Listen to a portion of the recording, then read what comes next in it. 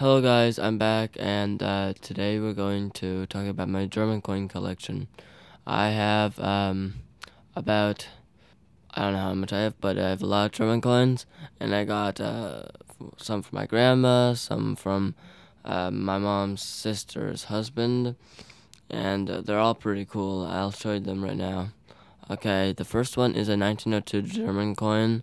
It This one is um, the one that my mom's sister's husband gave to her.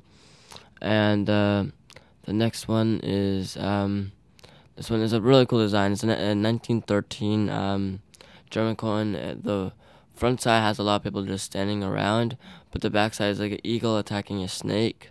It's a pretty cool coin. Um, and the next coin is an 18 um, 1861 German coin in a really really good details. I might want to send it into uh, uh, PCG um, coin grading company.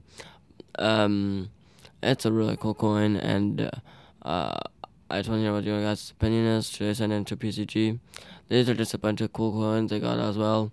These are old German coins. These are all silver.